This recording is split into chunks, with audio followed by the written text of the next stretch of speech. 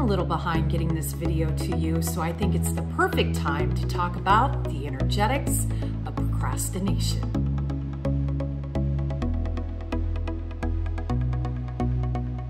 Welcome to Energetically Speaking, a place where we talk about all things energetics.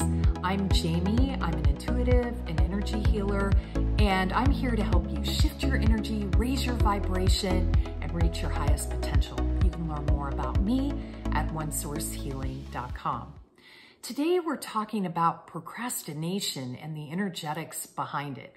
How many times have you found yourself with a big item on your to do list, something you really need to get done, only you have shifted into this place of avoidance where you're scrolling through your phone for hours or cleaning the driveway rather than actually sitting down and getting that thing done. Well, you're not alone. Several years ago, I had the idea to write a novel. And I was really busy working and being a single parent at that time. And I just didn't have a lot of time in my schedule to get it done, but I was committed.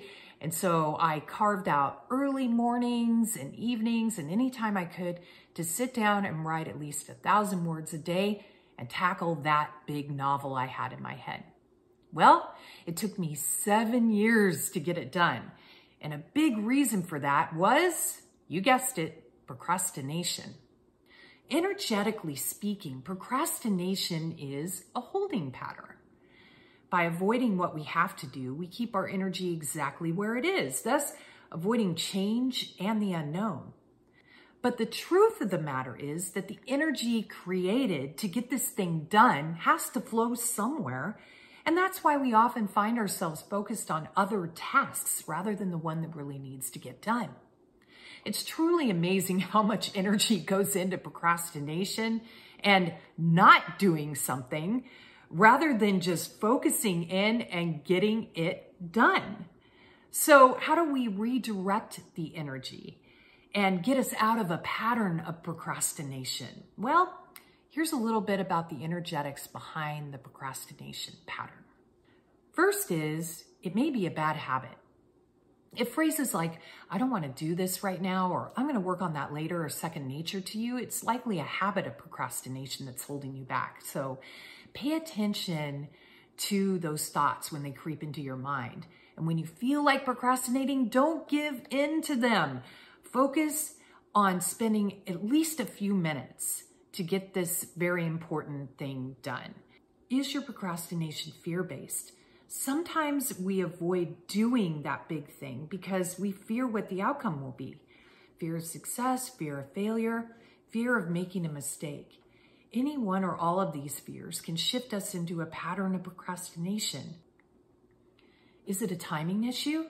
There are times when the energetics of procrastination are simply about timing, especially when we're doing something that our soul really desires, like writing a novel or turning a passion project into a business.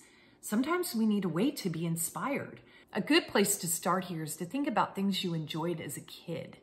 I know that sounds rather interesting, but it really will shift you into a place of joy coloring, uh, playing with Play-Doh, anything that you really enjoyed as a kid is going to open up your joy to receiving inspiration. And that can really shift you into a place of action where inspiration is concerned.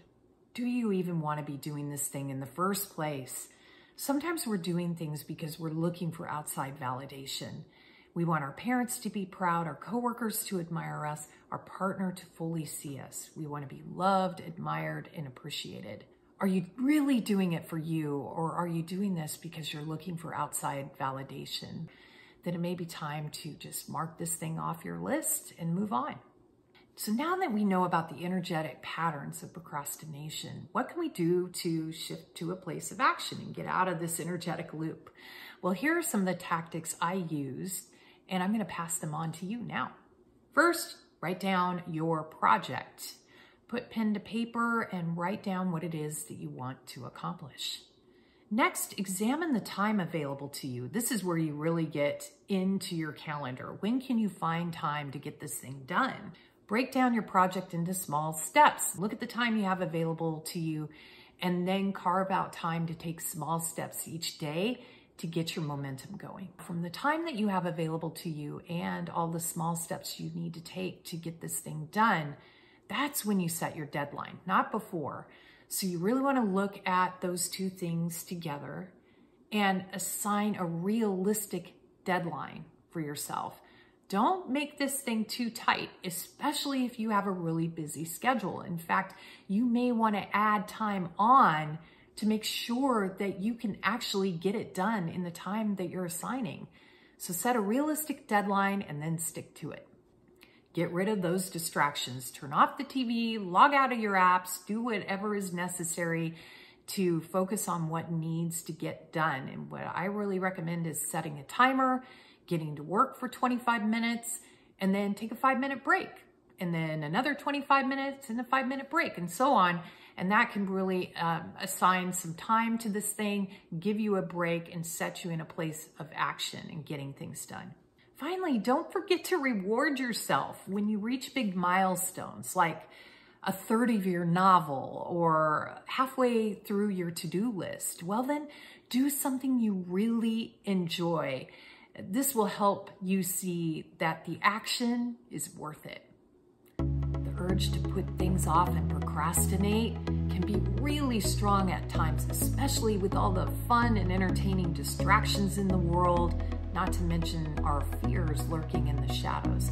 But I promise you, if you can shift out of the energetic pattern of procrastination, you're gonna go from dreaming about that thing to living your dream in no time. I'll see you next time.